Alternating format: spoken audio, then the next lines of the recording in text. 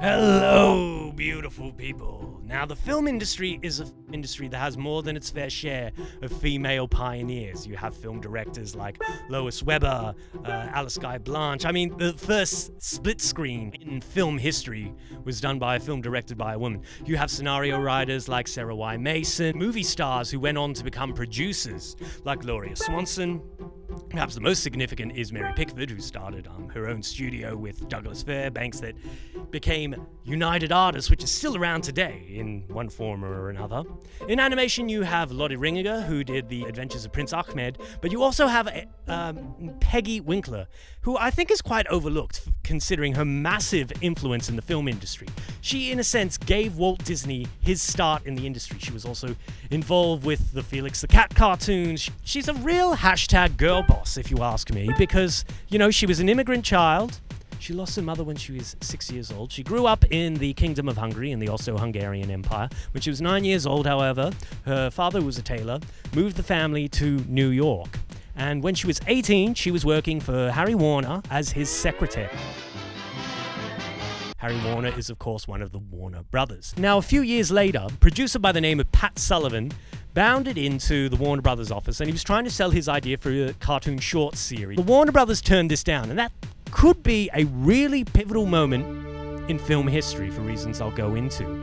However, Henry gave his full blessing for Winkler, who was really enamored by the idea, to leave Warner Brothers and actually take up the role of distributing them herself. And so she ended up becoming Sullivan's distributor, and Felix the Cat started to become known internationally. This was a pretty big deal because she ended up becoming the first female film distributor in Hollywood, if not the world. She was also really young. She was only 26 years old, and in February 1922, Film Trade Journal announced MJ Winkler leaves Warner's will market independent films. Now, of course, why did she use the initials MJ Winkler? Well, she was Margaret J. Winkler. And of course, it was to be more genderless. When asked many years later uh, what men thought of when they found out that the business person they were interacting with was a woman, she said that uh, they sometimes was scared, but they got over it. Fucking girl boss, what can I say?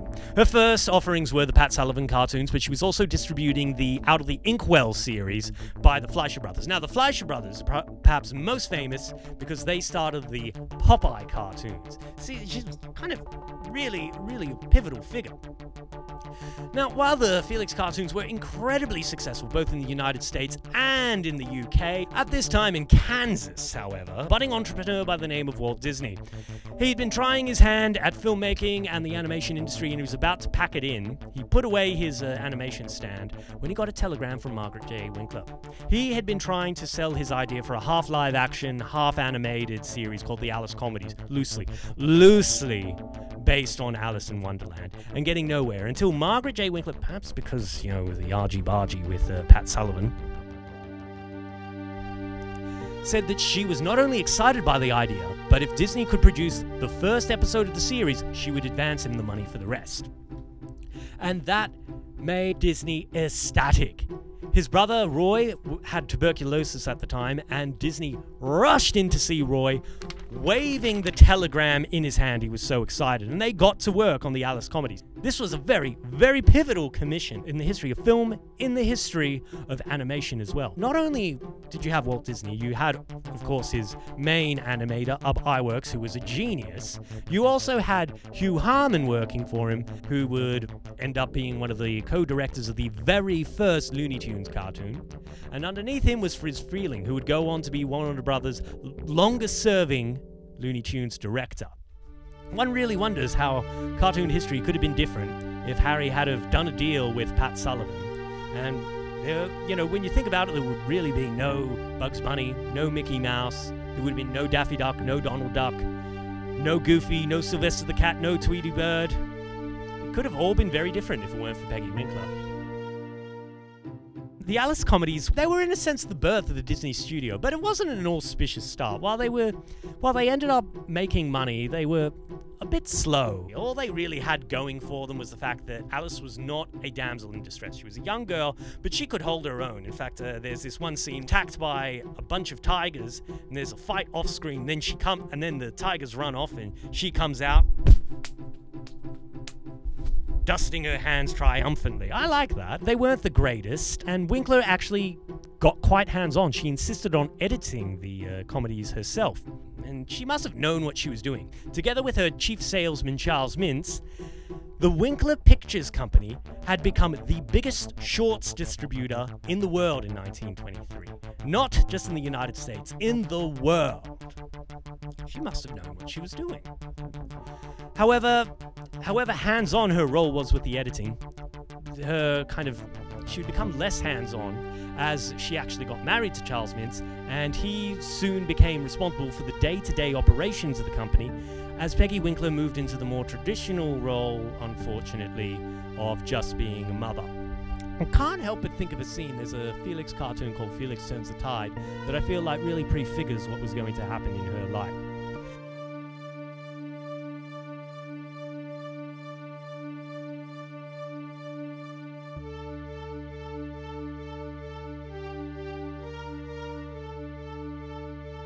Granddaughter Jeannie Mintz insists that uh, Peggy had a very active social life during these years. She actually really enjoyed jazz music, which makes her sound quite a bit avant garde. Um, and she also partied with, you know, the rich and famous, you know.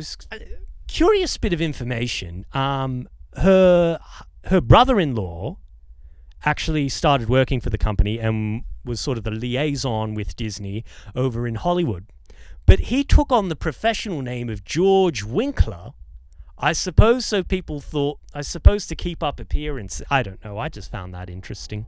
But she also kept a very thick scrapbook of uh, all the uh, postings about her time in the industry. Which Jeannie thinks means that, uh, which together with the fact that she didn't actually talk to her to her children or her grandchildren about her um, about her time in the industry suggests that while she was very proud of her accomplishments and at such a young age, she was only 30 when she left the industry. I mean, she had completely changed the animation history at only the age of 30. That's, quite impressive. She was clearly quite proud of her accomplishments, but her granddaughter thinks that the fact that she didn't speak about it suggested that there was probably a lot of pain about her decision, maybe a bit of regret about being forced to leave. In spite of that, uh, Peggy Winkler did have a very full and active life, even though uh, Charles Mintz passed away when I think uh, I think it was 1939. Um, she was very involved in her social life, in volunteering right up until her 90s. She was in her 90s.